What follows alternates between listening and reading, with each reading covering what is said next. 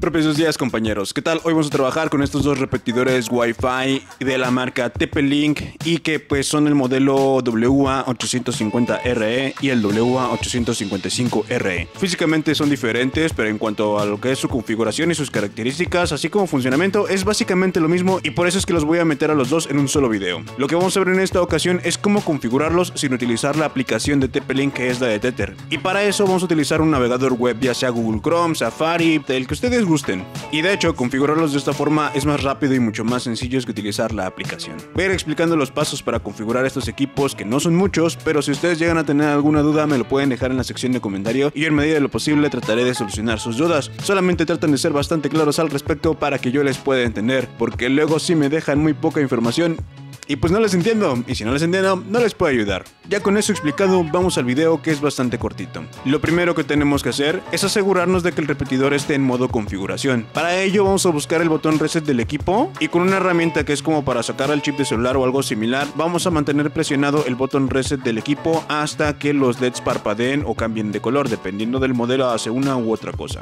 Ya que hayan parpadeado, esperamos unos momentos y después de eso ya podemos configurarlos. Para la configuración nos vamos a pasar al celular ya que estoy en mi equipo y lo que voy a hacer es buscar en las redes Wi-Fi de mi celular una que se llame TP-Link. Y aquí está, se llama TP-Link Extender. Me voy a conectar a ella y esperamos a que se conecte. Si en algún momento les dice que la conexión no tiene internet y su celular les pregunta que si quieren mantener la conexión, le dicen que sí. Ya que el celular haya mantenido la conexión, vamos a irnos al navegador. Yo voy a abrir Chrome en una nueva pestaña vamos a irnos a la dirección TP-Link Repeater. Yo aquí ya la tengo guardada, pero se las voy a dejar en la descripción de este video para que ustedes nada más copien y peguen de ser necesario. Aquí me sale esta advertencia de que la conexión no es privada, pero no importa. Yo le voy a picar aquí a la advertencia y luego le voy a picar a opciones avanzadas. Y después le pico a continuar a tplink.net. Esperamos a que cargue y ya estamos en la interfaz para configurar el dispositivo. Aquí nosotros le vamos a poner una contraseña que es solamente para configurar el dispositivo. No quiere decir que esta vaya a ser la contraseña que vamos a utilizar para conectarnos al Wi-Fi. Yo de momento le voy a poner la contraseña que uso en todos mis videos, que es casa 1212. Ustedes no utilicen esta contraseña, por favor, porque pues todo el mundo la ha visto. Casa 1212. Con el teclado activamos los dos ojitos para ver que esté bien escrita y le picamos a iniciar sesión. Esperamos unos momentos. Y listo, ya estamos en la configuración del repetidor. Ahora lo que sigue es seleccionar la red Wi-Fi a la cual nos vamos a conectar para extender su rango. En mi caso voy a utilizar la primerita que está aquí, así que le voy a picar ahí. Y ahora tengo que escribir la contraseña del Wi-Fi. Yo aquí ya la tengo copiada, nada más la voy a pegar.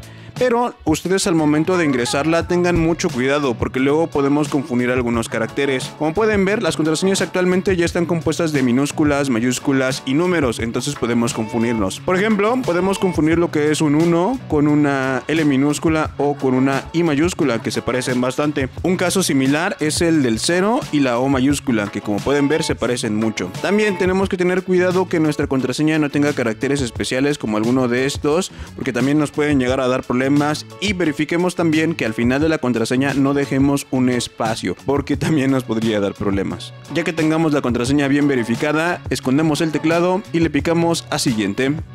Aquí nos pide que verifiquemos los datos y le picamos a confirmar. En esta nueva interfaz nosotros vamos a seleccionar el nombre de la red Wi-Fi que va a tener nuestro repetidor. Yo por ejemplo le voy a poner TP-Link. Vamos a ponerle TP-Link.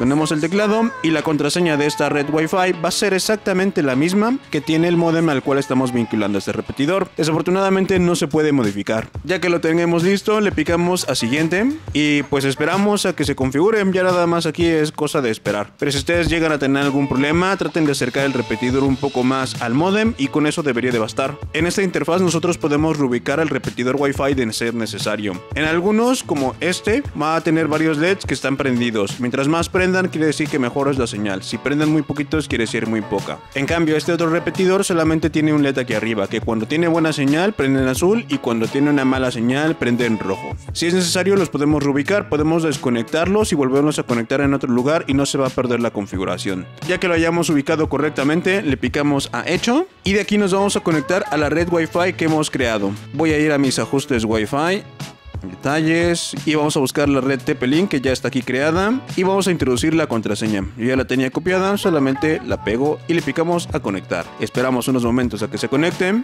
y listo, ya se está conectando mi celular. Aquí podemos ver que ya se conectó, pero si a ustedes les llega a decir que la red Wi-Fi no tiene acceso a internet, solamente esperen unos momentos para que se termine de configurar correctamente. Ya que se hayan conectado, podemos regresar al navegador, le picamos a me conectado a la red extendida y le picamos a terminar.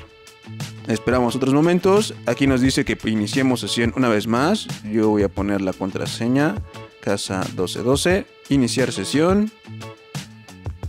Y listo, ya estamos conectados a internet. Aquí pueden ver que el, está la señal de internet, luego está el modem que nosotros nos hemos conectado, luego está nuestro repetidor Wi-Fi y al final está la lista de clientes. Aquí nosotros podemos entrar cuando necesitemos y ver cuántas personas se han conectado a nuestro repetidor Wi-Fi. En mi caso pues solamente está mi celular y pues ya no hay nada más aquí para ver. Y pues eso es todo, así de sencillo es esta configuración. De todos modos, si ustedes llegaron a tener algún problema o se les presentó alguna situación que yo no expliqué en este video, me lo pueden dejar en la sección de comentarios. Y si les sirvió el video, espero me puedan dejar un like, un comentario o una suscripción para así que el video llegue a otras personas y también poder ayudarles. Pero creo que eso es todo por el momento. Cualquier cosa quedo pendiente y pues sí.